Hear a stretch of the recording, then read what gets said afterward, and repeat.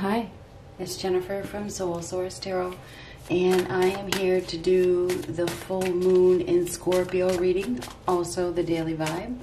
So we're just going to see what comes up. So this is for right around the 27th. What do we have for a message for around the 27th? What do we have for a message for around the 27th? Ten of Cups reversed. High Priestess. Knight of Swords reversed. Empress reversed.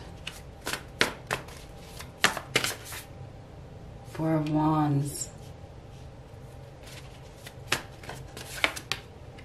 Eight of Coins. Seven of Cups. Hermit. So we have action being taken. So there's there is some sort of action, swift action that is going to be taken um, in regards to a relationship, and whatever this relationship is, it could be a family situation, it could be, um, uh, you know. Uh, husband wife we have a relationship that is not on the same page. First card out ten of cups reversed. That is a, that is relationship problems. We have relationship problems that are coming to a head. Somebody has been keeping a secret okay? They have been keeping a secret. I do believe there's going to be some sort of uh, assertive behavior. Somebody is going to assert themselves. We have the knight of swords in reverse. This is abuse of some sort. This is an untrustworthy individual that could be charging in, causing a fight, blaming somebody, picking a fight. Um, the high priestess is uh, very, very intuitive, but keeps something to themselves. Somebody is, has been keeping something to themselves. Um, maybe it's a, a it's, it's, it's a, it could be a, somebody else that they're dealing with because we have this commitment down here. And it is in the past it is in the past. So somebody may be committed, they may be already in a commitment, but they're in a relationship. So I don't know what is going on here. somebody is well, the Empress reversed is some sort of termination. It could be uh,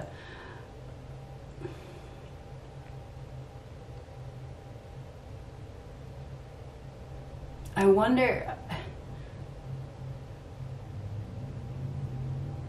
you know, the Empress in reversed is somebody that doesn't know her value and gets herself engaged in third party situations. I feel like we have an individual that has engaged themselves with an individual that is already in a commitment.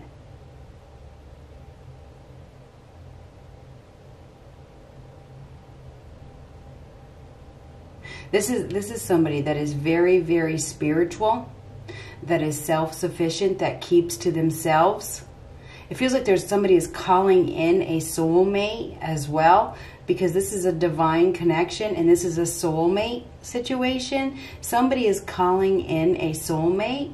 I don't know who's who's that is for, but in the past there's a relationship that is not working out. The Ten of Cups in reverse is a relationship that that's relationship problems. It's a dying dream. There could also be children that are leaving because with this card and this card. So I wonder if there's some sort of bad news that is coming. And I hate to say this about a child. Okay. Um, leaving home. Somebody, or it could be a relationship, could be a partner that is leaving home. Somebody may be choosing to be single the high priestess chooses to be single typically is typically a single person who is very self-sufficient and chooses to be single, work on themselves. So we may have somebody here that is choosing to work on themselves, to go within, to reflect and, and uh, listen, listen to themselves. Um, I do believe there is some sort of relationship problems and I, and I feel like um, a choice is about to be made with this Seven of Cups. I feel like this is, is uh, somebody is going through an awakening. They're becoming enlightened.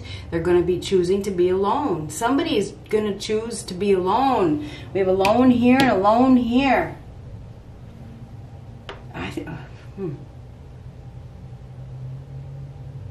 Seven of Cups is uh, confusion, trying to do too much, multiple options. Somebody's been exploring their options with a woman, and this is a completely different thing. Somebody's been exploring their options with a woman that doesn't know her value, and this woman has engaged. She has allowed herself to be one of the options this Knight of Swords is is a, it could be a dangerous situation. Maybe the Knight of Swords. I feel like there's going to be a conversation, and I don't think it's going to be a good one. Okay, I feel like we have we have an insincere uh, individual who is um, very very ignorant. This is somebody that is a know-it-all this is an individual that may uh, feed illusion, that may present themselves to be somebody that they are not.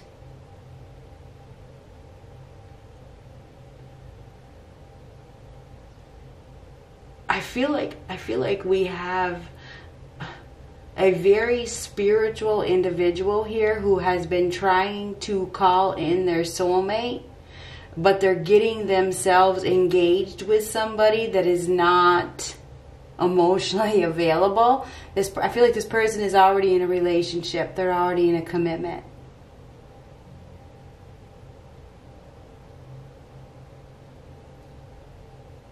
I feel like there's a there's I feel like there is some sort of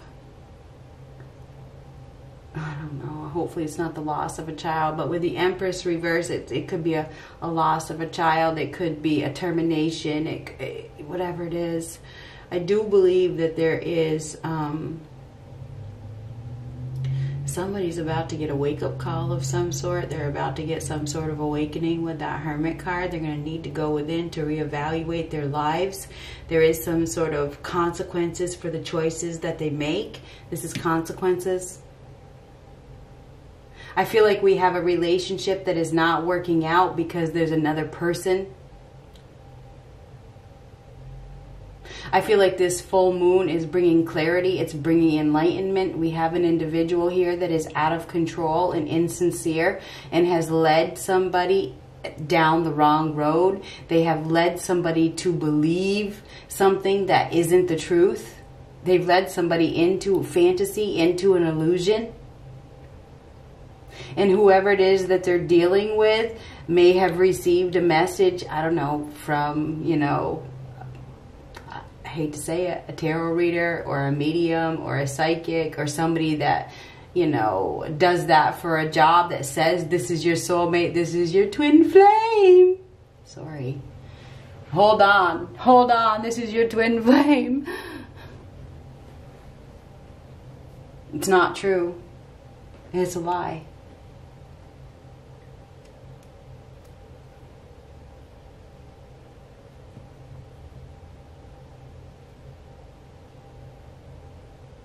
It's an illusion, it's fantasy. We have a person here that doesn't know their worth, and it's time to reevaluate your relationship. Good luck.